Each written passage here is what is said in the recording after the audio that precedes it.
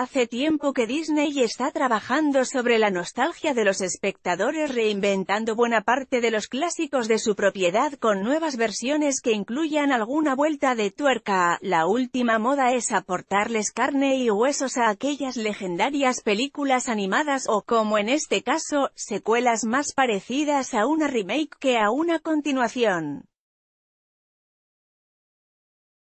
Mary Poppins era una apuesta riesgosa, sobre todo a la hora de encontrar un reemplazo para Julie Andrews. Emily Blunt se animó a hacerse cargo del paraguas y la valija mágica en el regreso de Mary Poppins. La actriz es el punto más alto de esta secuela vistosa y engalanada por una hermosa animación en 2D y un vestuario de época deslumbrante. Blunt le da vuelo propio al personaje sin encasillarse en la empalagosa versión de la niñera que popularizó Andrews. La excusa argumental de esta nueva caída de los cielos es que los chicos de la película original, Jane y Michael, vuelven a necesitar a la niñera mágica un par de décadas después del primer encuentro, en tiempos de la Gran Depresión en Londres.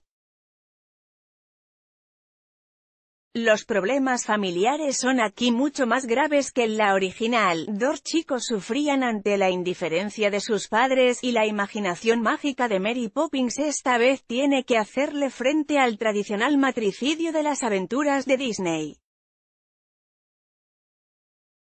Los hermanos Banks viven juntos con los tres hijos de él, deprimido porque acaba de enviudar, en la casa familiar que están a punto de perder por la falta de pago de un préstamo al banco. Y la niñera volvió para proteger a la familia con la ayuda del farolero Jack, que ocupa el rol de aquel desollinador interpretado en 1964 por Dick Van Dyke. Newsletters Clarín El especialista en musicales Rob Marshall, Chicago, Nune, en el bosque, vuelve estas dificultades transitorias y superficiales al ir desentendiéndose de todos los problemas de los tres chicos a medida que van ganando lugar las canciones. Y ahí es donde se nota que es imposible que el regreso de Mary Poppins esté a la altura de aquella película de Robert Stevenson. La narración de Marshall termina rehén de las coreografías y se diluye entre ensaladeras rotas y comprobantes bancarios perdidos. Y encima el himno desollinador Chim Chim Chere y supercalifragilístico espialidoso miran demasiado desde arriba los esfuerzos de Lin Manuel Miranda y Blunt por poner a la nueva versión a la altura. No importa mucho la tenacidad ni la capacidad de Blunt cuando la película decide marginar de a ratos a su propia protagonista.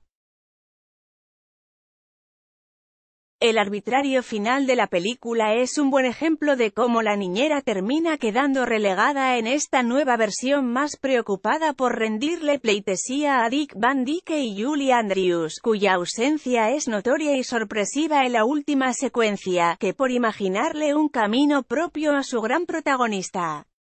Calificación, regular. El regreso de Mary Poppins. Musical, Fantasía, Estados Unidos, 2018, 130. De Rob Marshall, con Emily Blunt, Lin Manuel Miranda, Ben Whishaw y Dick Van Dyke.